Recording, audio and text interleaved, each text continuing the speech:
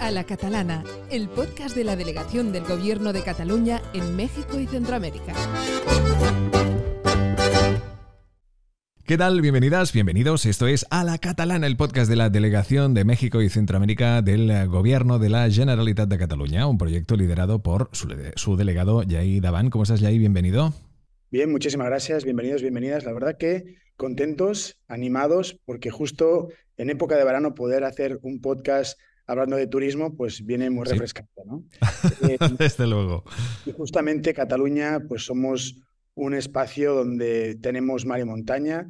Eh, muchísima gente viene a Cataluña, se enamora, lo recomienda y siempre decimos eso, ¿no? Que para poder eh, conocerlo hay que, que, entenderlo y hay que escuchar a la gente que ya ha estado. Y qué mejor que nos pueda platicar de este tema que la directora general de turismo del Gobierno de Cataluña, Marta Domènech. la verdad es que muy contentos de tenerla hoy. Ella es licenciada en Publicidad y Relaciones Públicas por la Universidad de Ramón Llull, eh, diplomada en Marketing y experta en temas de protocolo eh, por la Universidad de, Oviedo. También es sommelier profesional, por lo tanto conoce bien los vinos y la gastronomía catalana. Eh, recordemos que tenemos 12 denominaciones de origen aquí en Cataluña y que son de muy alta calidad. Por lo tanto, Marta, bienvenida. Muchísimas gracias por acompañarnos. Y primero de todo, explícanos un poco por qué Cataluña es un foco de atracción eh, turística, por qué tenemos este reconocimiento, la gente nos conoce. Bueno, buenos días eh. gracias por permitirme ¿no? explicar o practicar, como decís en México, acerca del turismo y el turismo en nuestro país, en, Cataluña. Ah, yo creo que si nos tuviéramos que situar hacia los 60, ah, 70, donde realmente, bueno, pensar que Cataluña tiene un litoral Ah, de cara al Mediterráneo uh, esplendoroso, donde fue el impacto, donde se empezaba a mover todo lo que era el, eh, el, mundo del ocio, ¿no? Y de poder uh, tener tus horas de trabajo, pero también tus horas, ¿no? De, de, de, de, poder disfrutar de tu tiempo libre. Y esto fue cuando empezaron los movimientos, digamos, de migración turística y evidentemente todo lo que era Centro Europa, Reino Unido, donde eran espacios más fríos en julio y agosto, pues venían a la costa catalana a disfrutar bueno, de, sus playas y de toda su, bueno, de toda su grandeza. ¿no? Y como bien decías, además con todo el juego diverso que tiene Cataluña, porque tiene muchísima diversidad en términos turísticos que ofrecer, no solo es costa, sino que tiene un, un país interior con una riqueza ¿no? muy diversa en términos de, pues, de Pirineos, de, de, poder disfrutar de su gastronomía, de sus vinos, como también comentabas. Así que ah, bueno, la gente que llega a casa ah, está, hace su, semana o sus 15 días o sus tres semanas en costa, pero le permite también jugar ¿no? con todas las riquezas ah, y todo, lo que expresamos en términos turísticos en Cataluña. Así que, bueno, desde los 60 o 70 que estamos en el, digamos, en el top 10 de, recibimiento de turistas a nivel mundial. Somos el segundo país en Europa que más recibe después de París y de France. Así que, bueno, ah, merecemos la, la, ¿no? la, la, icona de que somos un destino turístico mundialmente reconocido y con la ciudad de Barcelona, que es ¿no? nuestra icona ah, internacional que se explica cómo somos. Sí.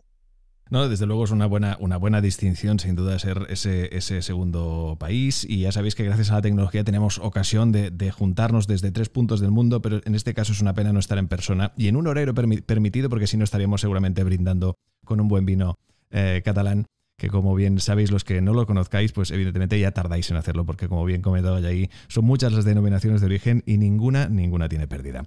Así que en ese aspecto hablabas, ¿no? evidentemente, de, Cataluña como centro de, turismo, ¿no? Y que recibe a muchísimos visitantes, a muchísimos turistas. En nada hablamos precisamente de ese impacto a nivel de sostenibilidad, pero antes nos gustaría también saber cuáles son esas tendencias recientes de todo este turismo que llega a Cataluña que, y cómo se ha adaptado evidentemente nuestro país a las cambiantes necesidades precisamente de dichos viajeros?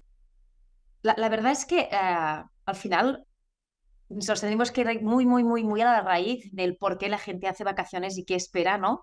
Cuando hace vacaciones. Y desde luego, una de las primeras inquietudes que tiene cuando vienen a Cataluña, uh, sobre todo si centramos en la época en la que estamos, que es verano, es básicamente buscar ese buen tiempo y sobre todo buscar, ¿no? Toda aquella todos aquellos factores que son atributivos que suman al, al, valor de la destinación que decides, ¿no? Porque Cataluña hay muchas ah, zonas en el Mediterráneo que tienen costa, hay muchos países que tienen playa, pero quizá no tienen todo el resto ah, de atributos que tiene, por ejemplo, Cataluña, que como indicabas, pues bueno, la gastronomía, el vino, la manera de ser y toda la diversidad turística que podemos ofrecer desde temas deportivos hasta temas de, ¿no? de negocios. También acabamos atrayendo, vienes para vacaciones y acabas atrayendo porque te gusta ¿no? la, zona ah, donde está, pero también lo que te puede aportar en términos de vida si acabas siendo un nómada digital y piensas que igual, aparte de tus 15 días de vacaciones, acabas pensando, pues igual ah, me mudo a vivir a Cataluña y, puedo trabajar, ¿no? Hacer teletrabajo, trabajar online por proyectos y me instalo aquí. Es decir, que al final acabamos siendo pol de atracción no solo en términos turísticos, sino que esto acaba derivando en hubs de, ah, internacionales de gente que acaba mm, quedándose en, en Cataluña. Es evidente que cuando hablamos de Cataluña de toda la dimensión en términos turísticos, como te decía, hay zonas que solo tienen uh, playa y solo pueden ofrecer playa, que está muy bien, pero es lo que tienen, entonces te tienes que ah, dedicar en un momento determinado, que es cuando hace buen tiempo, pero Cataluña tiene 365 ah, días al año la capacidad de disfrutarla en términos turísticos. Entonces, esto ah, nos, nos, permite no estar tan estacionalizados, aunque lo seguimos estando, como tienen, pueden estar otros destinos turísticos a nivel mundial que se proclaman como destinos de sol y playa, ¿no? Porque tenemos, es lo que te decía, ¿no? Tenemos todo lo que es la dimensión de montaña de los Pirineos, que puedes ir a esquiar desde el mes de ¿no?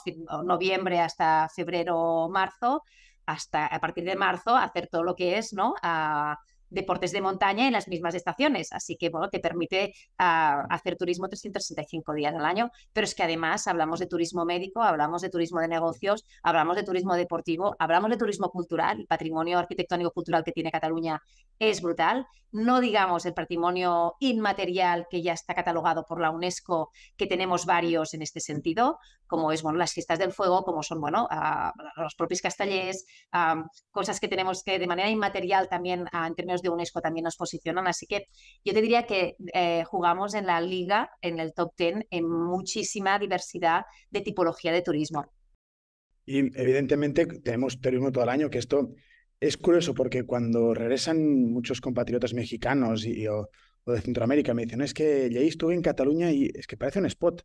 Todo el día ahí te parece que estoy un anuncio eh, aquí y allá porque pues tanto en verano como en invierno el paisaje, la gente, la diversidad está increíble, ¿no? Pero claro, justamente como tenemos tanto turismo, tenemos que ser responsables.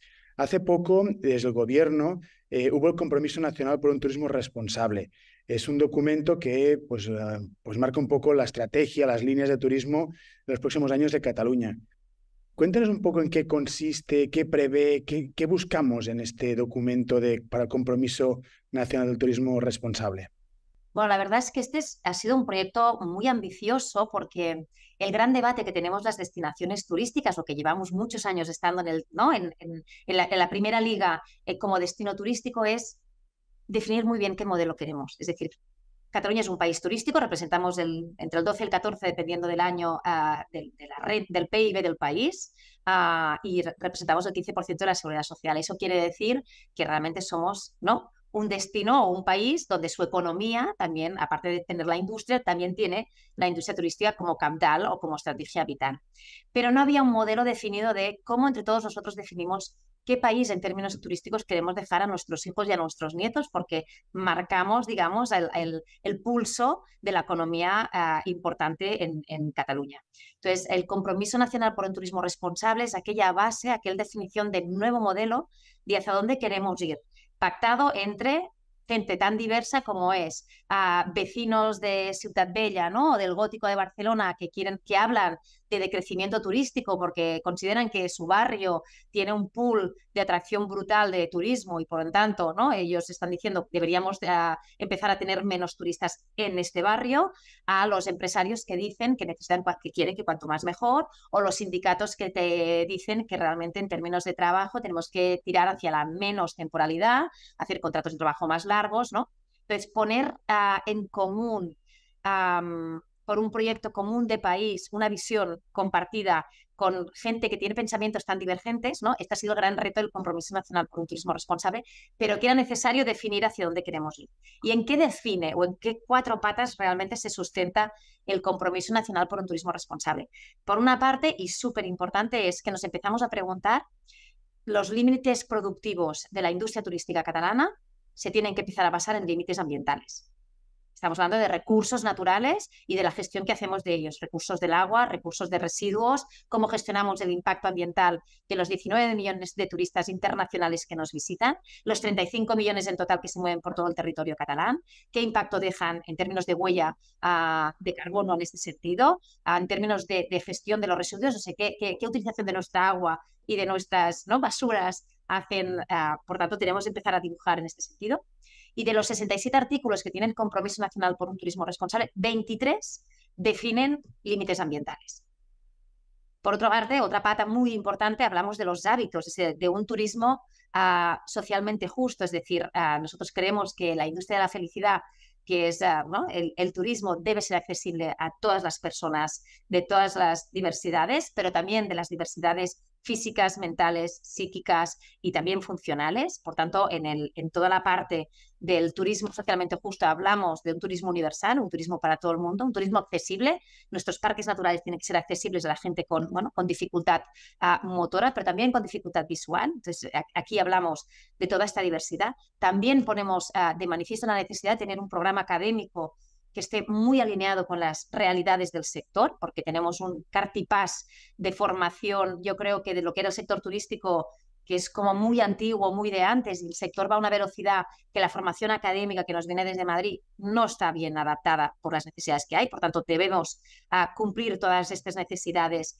para tener ¿no? Talento, que este talento nos aporte ideas. Si tenemos talento y tenemos ideas, realmente tendremos, podremos levantar capital para poder ejercer políticas uh, efectivas en este sentido y para que realmente el sector turístico en catalán forme parte de la estrategia uh, de país con mecanismos de renovación diferentes. Pero también hablamos de, la cualidad de la de los contratos laborales. Aquí también ponemos, uh, en, en, bueno, ponemos de manifiesto en el Compromiso Nacional por el Turismo Responsable que queremos tener contratos de larga durada y, gente con mejores condiciones uh, laborales. También hablamos de temas tan importantes como cómo nos hemos explicado en términos de promoción, seguramente en todo lo que son recursos de sol y playa, en cosificación de la mujer por ejemplo, también, ¿no? Siempre enseñábamos, ¿no? La típica hamaca con una señora perfecta, con unas medidas perfectas y, bueno, las mujeres que, ¿no? Que, que criamos, que parimos, que, que, que somos seres uh, normales, la diversidad de la familia ya no es padre, madre, niño y niña, las diversidades familiares son inmensas y como tal debemos uh, explicarnos como a destinación, es decir, la, la piedra angular es la diversidad también familiar y así nos tenemos que explicar y esto lo tocamos todo en, el tema, en, en los términos de, del turismo socialmente justo pero después tocamos otra, la tercera pata, que es muy importante, es el territorio, es decir, Cataluña es súper diverso. Hay zonas en Cataluña que igual empezaron el turismo hace en los años 60, ya llevamos un recorrido muy largo y en términos orográficos o paisajísticos cometimos algunos errores porque se permitieron una serie de cosas. Debemos salvaguardar toda nuestra orografía, nuestro, todo nuestro patrimonio natural y nuestro patrimonio paisajístico. igual ya estamos diciendo que hay algunas zonas que igual hemos tocado techo en número de camas, igual debemos no seguir creciendo y sí reconvertir estas plantas ¿no? de alojamientos que igual se han quedado un poco envejecidas para dar mejor servicio, pero no toda Cataluña es igual, hay otras zonas que puede seguir creciendo. Entonces, allí también hablamos de que un país tiene que ser equilibrado territorialmente, y, ponemos de frente muchísimos de los warnings que igual la única manera de hacer mecanismos de renovación es hacer autocrítica, en donde hemos, de una manera o de otra, por otros uh, términos, hemos podido uh, fallar o nos encontramos con los resultados que hoy debemos afrontar. Y después también tocamos, y es muy importante, la cuarta pata sería la parte de la digitalización o de la innovación, lo que realmente nos preguntamos es si debemos seguir explicándonos uh, el turismo en Cataluña en volúmenes, es decir, nos visitan tantos millones de visitantes, gastan tanto en nuestro, ¿no? Dejan tanto dinero en nuestro destino y hacen tantas noches de media, o nos explicamos también, también no tenemos que dejarnos de explicar en ese sentido en volumen,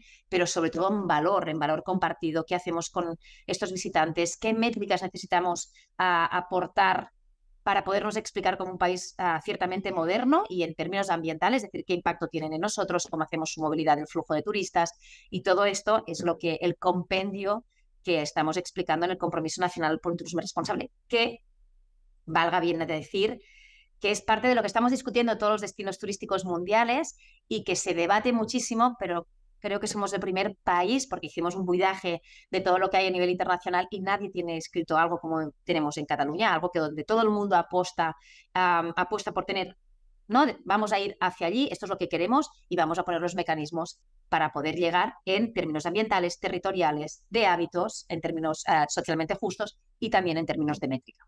Esto es el compromiso nacional por un turismo responsable. No, no, desde luego, desde luego. Y aparte, como bien comentabas, eh, eh, la, importancia, relevancia de, esos datos para entender del, enorme impacto de lo que nos ha comentado nuestra invitada de hoy y del que quizá también conviene echar un poquito, nada, un poquito la vista atrás, aunque sigue quizá muy reciente en la memoria de todos, y es, esta pandemia ¿no? generada, generada por la COVID-19 que tuvo este impacto tan eh, extraordinario en la industria turística mundial. ¿Cómo ha, gestionado Cataluña los retos planteados por dicha pandemia? ¿Qué extra estrategias existen y evidentemente para esta recuperación del, sector ah, turístico? Bueno, la respuesta es del Compromiso Nacional por un Turismo Responsable, es decir, uh, el año, las, las, cifras, ¿no? cuando hablábamos ¿no? de las cifras ah, de turistas en Cataluña y su volumen, en el 2019 creo que son las cifras donde nosotros ya creemos que empezamos a tocar un cierto techo y que debemos empezar a mirar.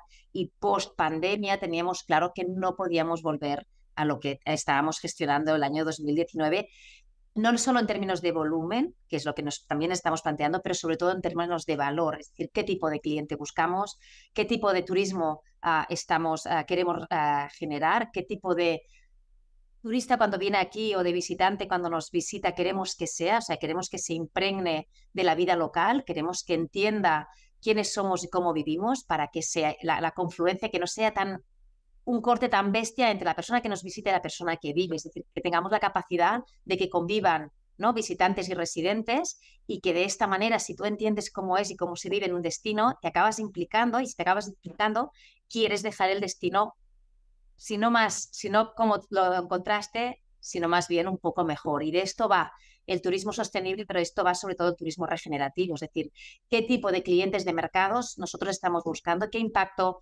en términos, no solo en términos eh, económicos, en términos de renta o en términos de PIB estamos pensando, sino también en términos de valor. Es decir, qué tipo de gente queremos que nos visite, qué tipo de filosofía humanística ah, tienen en el valor de viajar, es decir, por qué quieren descubrir un sitio y no otro, y qué nivel de, implicación quieren tener en ese territorio. Eso es lo que queremos y estamos buscando.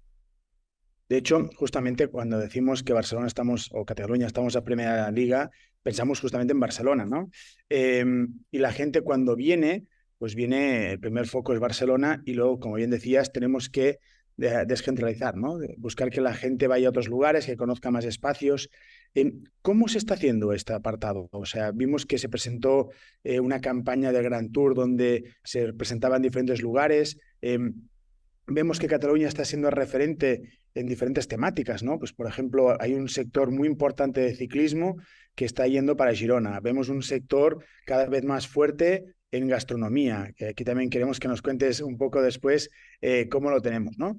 Em, ¿Cómo estamos trabajando esto y, cómo, cómo lo están eh, equilibrando ustedes desde el gobierno? Esta parte de vamos a sacar, vamos a desgentrificar Barcelona y que lo conozcan, ¿no? Porque comentabas que, es importante hacerlo, pero ¿cómo lo estamos haciendo realmente? ¿Cómo estamos haciendo mm. el caso práctico, digamos?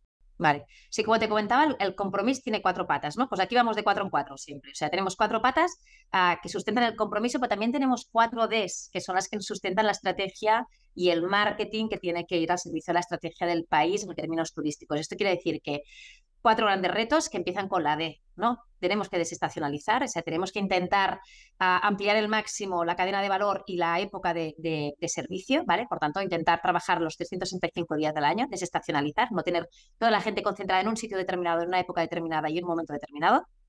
Distribuir la gente por todo el territorio catalán, ¿vale? Desestacionalizar, distribuir, diversificar la oferta, es decir, no solo tenemos una oferta concreta, tenemos sol y playa, sí, sí, pero también tenemos turismo gastronómico y turismo de vino. También tenemos turismo deportivo, también tenemos turismo de salud, también tenemos turismo cultural. ¿vale? Por tanto, distribuir, desestacionalizar y sobre todo diversificar la oferta. Y ya que hacemos estas tres Ds, vamos a buscar la, cuarta, que es intentar, ¿no? En catalán lo que decimos es la despesa, que al final es que la gente que viene aquí deje el máximo al territorio en términos de volumen, o sea, en términos de dinero, pero también en términos de valor que se acaba impactando también en términos de convivencia. Por tanto, uno de los proyectos que en este sentido uh, cumple las cuatro Ds es el Gran Tour de Cataluña, que bien comentabas, Leir, que uh, es un proyecto que lo que hace es de manera sostenible, de movilidad, sostenible, se mueve en cinco tramos por todo Cataluña y te explica ¿no? y te, y te um, los iconos del país, pero también aquellos grandes secretos escondidos que para nosotros son puro, puro tesoro, pura gema de oro, ¿no? Puro diamante eh, que queremos que también que se conozcan y que se vaya, y que entiendan que Cataluña no solo es un turismo urbano como la ciudad de Barcelona, que concentra prácticamente el 50% de todas las visitas del país, sino que este 50% se acaba repartiendo por todo el territorio uh, catalán. Este es un proyecto como es el Gran Tour, ¿no? Y se promueve, pues evidentemente, el conocimiento del territorio, potenciar los productos, porque si te mueves a una zona determinada, qué comen, qué beben, ¿no? Cómo viven, qué sienten, hablas con los locales y al final te acabas llevando a aquella, bueno, aquella conexión con el territorio que has visitado, porque lo que tenemos claro es que un territorio que es bueno para vivir es mucho mejor territorio para ser visitado. Esta es una de las estrategias. Otra de las estrategias, sin dejar de trabajar el resto, porque lo que no podemos hacer es tener una mirada diferente y olvidar todo lo que somos, lo que hemos estado y todo aquello que tenemos un compendio de estructura uh, de industria turística que tenemos que seguir alimentando en términos de, de, pues de sol y playa, como que sería la parte, digamos, como más madura del país o la más reconocida porque es la que viene de, de, mucho más antiguo. Pero tenemos una serie de valores y atributos, como es, como bien decíais al inicio de la entrevista, ¿no? Pensar que mmm, España, el Estado español tiene 69 denominaciones de origen, Cataluña, de las 69, coge 12. Y solo hay dos uh, denominaciones de origen cualificadas en términos de vino. Una es La Rioja y la otra es Priorat, que está en Cataluña, dentro de las 12 denominaciones de origen, que representan todo el potencial vitivinícola uh, del país y que sobre todo explican ¿no? qué tierra tenemos, qué sol tenemos, qué tipo de personas la trabajan, qué tipo de personas, ¿no? qué vidas hay detrás de esas botellas de vino, porque pensar que fuera de alguna denominación de origen, el resto son bodegas súper pequeñas que exportan prácticamente el 80% de su producción y allí donde van, en los mercados donde van, son, bueno, uh, acaban rompiendo en las grandes uh, cartas de vino de los grandes restaurantes. Por tanto, ahí tenemos una estructura que nos ha costado mucho hacer estructura de oferta turística, porque son pequeñas bodegas y los mismos que hacen el vino tienen que hacer la visita, ¿no? Y explicarte, pero hemos conseguido llegar hasta aquí y después tenemos toda la parte de gastronomía. Sabéis que Cataluña, bueno, de todas las estrellas Michelin, Cataluña es de la comunidad autónoma del Estado español que más estrellas Michelin uh, ostenta, tiene 64 estrellas, restaurantes con estrella Michelin. Esto quiere decir que somos el líder uh, de, de, destinación gastronómica, pero también estos superestrellados son los hijos de, de madres y de abuelas que han cocinado tradicionalmente como se ha cocinado toda la vida. Hemos tenido un poeta que se llama Josep Pla en Cataluña que decía que la cocina catalana es el paisaje del país puesto en la cazuela y esto nos explica también como país, ¿no? Cómo comemos, qué productos de materia primera tenemos. Y gracias a esto, este año nos presentamos a la Región Mundial de la Gastronomía, donde tenemos conciencia que se presentaron entre 18 y 20 países y Cataluña ostentará el año 2025 la Región Mundial de la Gastronomía a nivel internacional, cosa que nos hace muy orgullosos porque aúna sector primario con sector servicios, es decir, tenemos unos países, unos ramaderos, ¿no? unos viticultores que hacen un producto excelente, tenemos unos cocineros que hacen artesanía de este producto, tenemos unos turistas ¿no? y unos residentes que lo comen y lo disfrutan, y esto hace que el payés, el, el ramadero, ¿no? Eh, el que tiene ovejas, acabe, explotación ramadera, acabe entendiendo que hace un producto excelente porque acaba haciendo un servicio excelente, ¿no? Y esto creemos que es una manera de explicarnos también como país más allá de todo lo que tradicionalmente hemos tenido en términos de turismo en Cataluña. De hecho, justamente ahora que comentabas todo el tema del vino, la gastronomía, eh, pues, eh, es realmente conocido Cataluña, ¿no? No hay día que cuando vaya a una reunión en México o en Centroamérica, ¿no? Me acuerdo que en Costa Rica o Honduras cuando me ha tocado, que, me preguntan, oye, y ¿realmente los hermanos Roca son tan buenos? O cuando vas ahí, eh, toda la cocina tiene estrellas, ¿son tan buenos los chefs? Y un poco nos, lo que nosotros contamos es que no es una cosa que haya salido de un día para otro, sino que la cocina catalana tiene una tradición histórica. Somos una de las uh, cocinas embajadoras, la gastronomía embajadora de la dieta mediterránea, y eso no es lo que digamos nosotros, sino que el libro más antiguo de recetas encontrado en el Mediterráneo es catalán, ¿no? Sensubí. Por lo tanto, ahí tenemos esta etiqueta, ¿no? No solamente los grandes chefs, sino que también es la tradición de pues, comida de proximidad, ¿no? De, de, la huerta al plato, comida estacional, ¿no? que cada época tiene su propia comida, y en los vinos. Y de hecho, em, esto me lleva a explicar un poco que en México, en estos últimos dos años, eh, hemos hecho una vinculación con la escuela, la Academia Mexicana de Sommeliers, donde eh, cada, cada dos meses se hace un curso de catas de los vinos catalanes, las 12 denominaciones. Y la verdad es que nos hemos sorprendido porque empezó por, vamos a hacer uno, y ya llevamos eh, más de 80 personas certificadas con eh, conocimientos de, vino catalán, ¿no? Y eso cada vez va creciendo y las exportaciones y las peticiones van, en aumento, ¿no? Como bien decías, somos un tercio de las estrellas Michelin que están en, en el Estado español. Por lo tanto, eh, hay una gran diversidad en este ámbito que tenemos que ir, ¿no? A, un poco buscando más conocimiento. Pero también, como bien decías, dentro de estas DES eh, hay una que, que, es interesantísima, que es la diversificación de ofertas. ¿no? Hablamos de turismo de playa, que es el que ahora pues, es más refrescante ¿no? en temperaturas en, Cataluña altas, pero también en Latinoamérica que tenemos, y comparamos las playas, mientras las playas latinoamericanas, eh, sobre todo las del Caribe, y pues son más agua calientita, aquí el agua está fría, ¿no? Y uno se, se pone pues en moreno el sol y luego, luego, luego entra en el agua. Pero también tenemos el turismo rural, tenemos toda la parte de deporte de aventuras, tenemos la parte, como bien decías, de eh, turismo cultural en todo el sentido de patrimonios, de tradiciones y el deportivo. Y el deportivo juega una gran baza, pues el Barça, eh, considerado el mejor equipo del mundo, ¿no? Algunos dirán que no, pero lo somos. Eh, pero también tenemos varios equipos y en breve tendremos un evento mundial, ¿no? Cuéntanos un poco qué va a ocurrir en los próximos años en tema deportivo. Bueno, en tema deportivo ocurrirán muchas cosas, pero yo creo que te refieres al gran bueno, evento que vamos a tener eh, próximamente, que será la Copa América, que escogió, entiendo que iba por aquí de ir como gran evento internacional, que evidentemente también nos posicionará, ¿no? como nos posicionó seguramente en su momento los Juegos Olímpicos de Barcelona del año 92, a la Copa América para nosotros, la Copa de la América para nosotros es súper importante, no solo en términos deportivos, sino porque realmente, y hablo de mi negociado, que es el, el turismo, nos posicionará otra vez a nivel internacional como un destino ¿no? de, para poder ejercer uh, muchísimo turismo, turismo náutico, pensar que uh, todo lo que las, uh, los, todos los kilómetros de costa que tenemos aquí no tenemos una tradición náutica como puede tener otros países como son Francia o como son otros países que tienen ya una tradición como muy arrelada en términos de, náutica.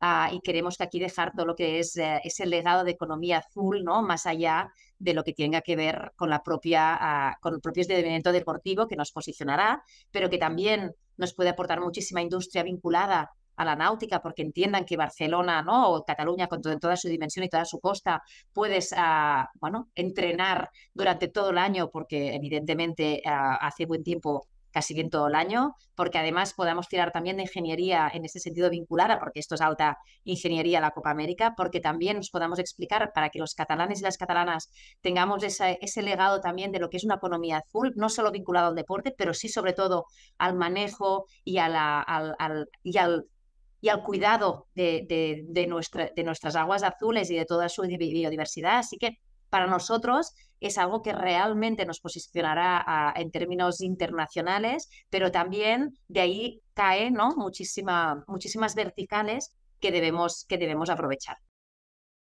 Perfecto. Em, justamente, ya para ir finalizando, porque el tiempo se nos eh, echa encima, em, cuando hablamos de, ese turismo, de ese sector, mucha gente, o, en vista de muchos países, es como que estamos compitiendo entre unos y otros, ¿no? entre regiones, así, pero realmente hay una coordinación y hay un trabajo en red entre unos y otros. ¿Cómo eh, desde Cataluña eh, se crea esta, eh, pues este trabajo con otras regiones, con otros países para atraer polos turísticos y sobre todo de, la, de Latinoamérica? ¿no? ¿Cómo lo están trabajando? Bueno, para empezar, con las propias delegaciones que tenemos, en este caso, contigo mismo, por ejemplo, en, México, con las propias delegaciones del Gobierno de Cataluña, pero sobre todo para nosotros también pensar que de los 35 millones de visitantes que tenemos o que se mueven en términos turísticos en el país, 19 millones son internacionales. Eso quiere decir que nuestras relaciones con todos, con los países que nos visitan, tienen que ser muy, estrechas. Por una parte, tenemos las 40 oficinas que tiene Axio repartidas, también todo lo que son las delegaciones del gobierno y también desde la parte de promoción del destino tenemos 12 centros de promoción turística repartidos uh, por todo el mundo y allí son nuestras antenas, es decir, qué tipo de clientes son, qué, esperan recibir, qué segmento de, propositivo uh, en turismo necesitan. Entonces hacemos bueno, marketing quirúrgico eh, en términos de la, de, la, de la, demanda y la oferta sea, sea fina en relación a la demanda del país que, que espera venir. Así que, bueno, trabajamos te diría, bueno, a diario con estos centros de promoción turística que además vienen cada X tiempo aquí, que compartimos estrategia, que conocen las grandes líneas estratégicas, que se han hecho suyo, por ejemplo, el Compromiso Nacional por un Turismo Responsable, que realmente saben ¿no? cuáles son las líneas de trabajo y las, y, las implementan en su, en su territorio. Hoy ha sido sin duda, y seguro que estás de acuerdo, uno de esos capítulos de los que uno se siente orgulloso, ¿no? evidentemente, de su cultura, porque lo que es en este caso la cultura catalana se traduce en una cantidad de elementos a tener en cuenta que es normal que en ese aspecto, pues evidentemente se nos sitúe en primera línea a nivel mundial de interés en conocer todo lo que implica la cultura catalana traducida en este maravilloso eh, espacio diverso que tenemos de costa, de montaña, donde se pueden hacer tantísimas cosas, donde se pueden degustar tantas otras y luego también disfrutar de ese patrimonio histórico que evidentemente pues, nos sitúa como un país a, primera línea mundial. Por lo tanto, entiendo hoy, eh, y ahí tendrás pues unas cuantas conclusiones a las que, a las que llevar.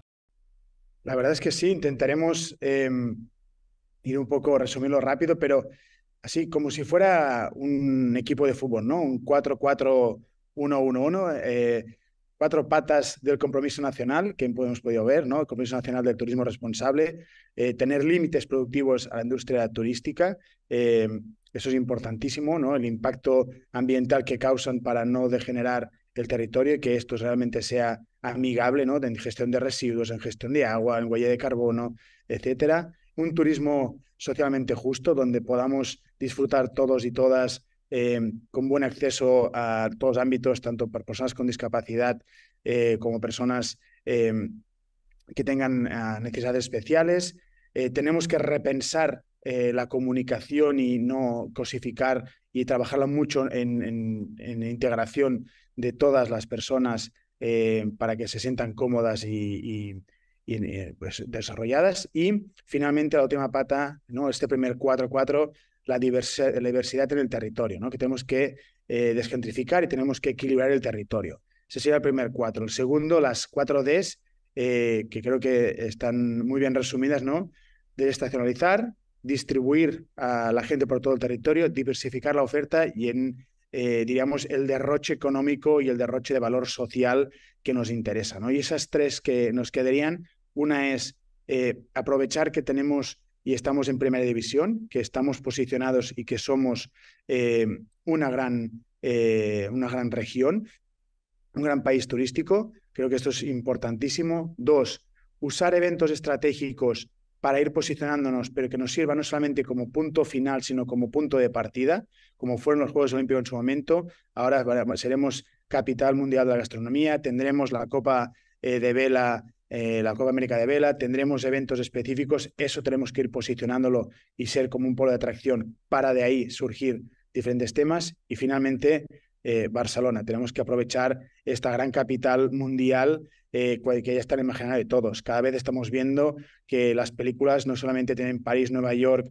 y Berlín, sino que Barcelona ya está siendo un punto de referencia en muchas películas. Por lo tanto, no lo olvidemos y con eso intentaría pues, hacer este resumen resumido de todo lo que hemos podido aprender. Muchísimas gracias, muchas gracias, Marta. La verdad es que hemos aprendido y podríamos estar muchísimas más horas platicando contigo. Una fuerte abrazada. Gracias a vosotros.